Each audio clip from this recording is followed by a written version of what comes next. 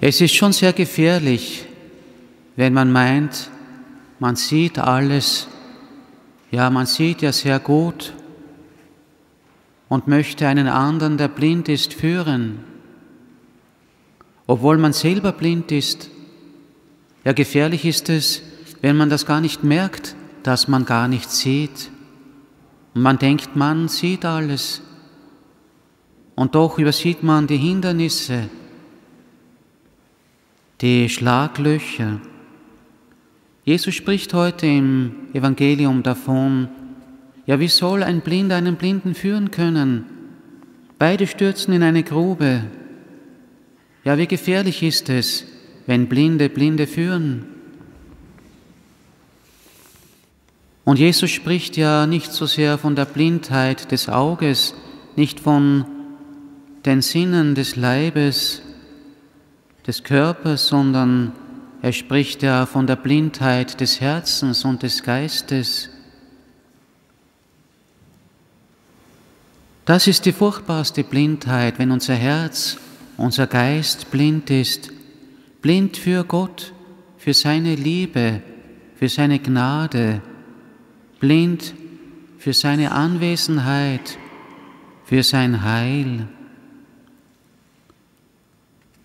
Aber der Geist Gottes, der uns geschenkt ist, er ist Licht, er erleuchtet ja das Auge unseres Herzens, er öffnet uns die inneren Augen, damit wir nicht als Blinde leben, nicht wie Blinde umhergehen, sondern das ist Licht Gottes sehen, damit wir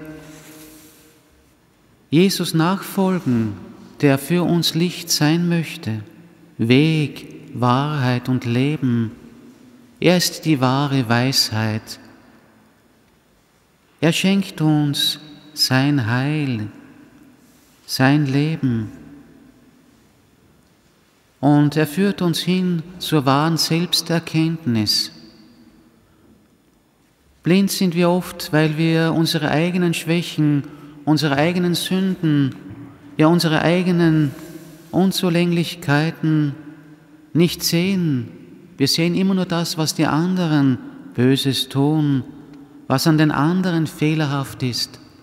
Auch davon spricht Jesus im heutigen Evangelium. Wir sehen den Splitter im Auge des Bruders, aber den Balken in unserem eigenen Auge, den sehen wir oft gar nicht. Wir sind zu sehr von uns selber eingenommen.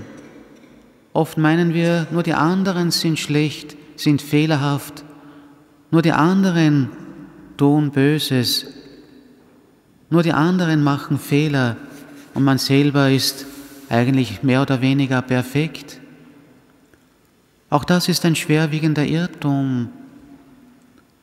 Und Jesus möchte uns auf diesen Irrtum hinweisen, uns erkennen lassen, wie wir in den Augen Gottes sind. Er hält uns sozusagen einen Spiegel vor, dass wir uns selber so sehen, wie wir wirklich sind, nicht wie, wie wir gerne sein möchten, möglichst perfekt, möglichst fehlerlos. Aber wir müssen nicht fehlerlos und perfekt sein, denn Gott liebt uns so, wie wir sind, mit all unseren Sünden und Schwächen und Unvollkommenheiten. In der Schrift heißt es, die Weisheit Gottes ist der ungetrübte Spiegel von Gottes Kraft, das Bild seiner Vollkommenheit. Und Jesus ist sozusagen selber diese fleischgewordene Weisheit Gottes. Er ist dieser Spiegel, in dem wir uns selber erkennen sollen. Und dieses Kreuz, sein Kreuz ist für uns der Spiegel, in dem wir uns prüfen, unser eigenes Herz, unser Reden, unser Denken und Tun, was kommt aus unserem Herzen hervor?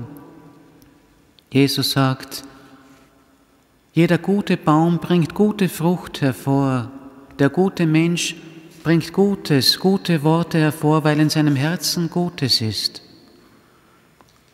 So müssen wir angesichts des Kreuzes Christi auf uns schauen und uns fragen, sind wir bereit, auch unser Kreuz auf uns zu nehmen? Sind wir bereit, Jesus nachzufolgen, auf diesem Weg der Liebe, der, des liebenden Dienstes für die Mitmenschen, der Hingabe an Gott?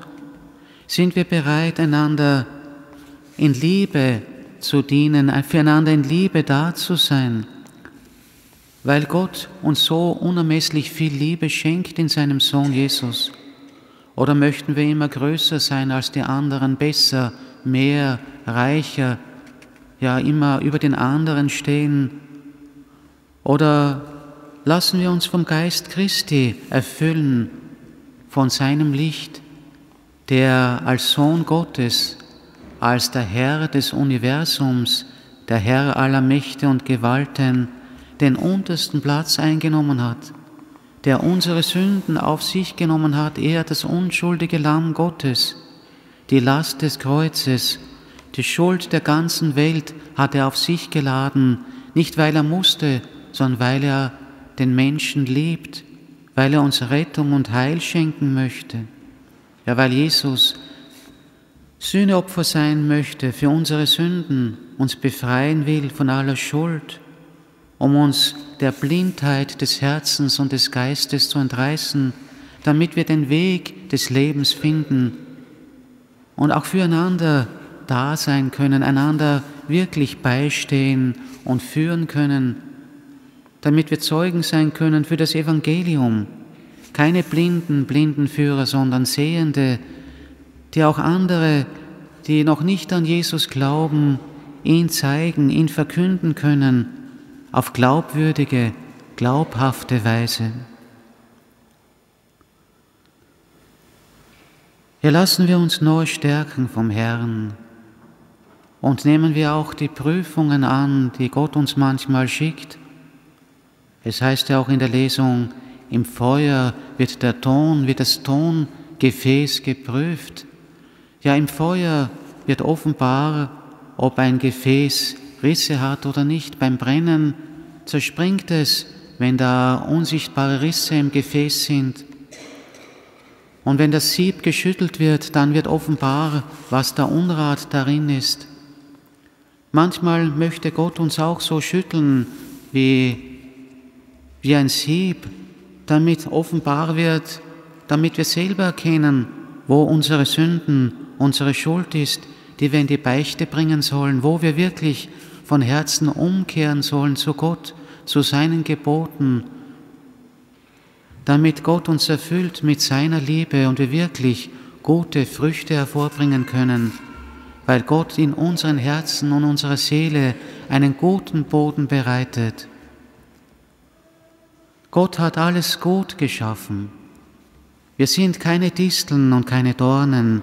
Wir sollen wirklich in ihm gute Frucht bringen.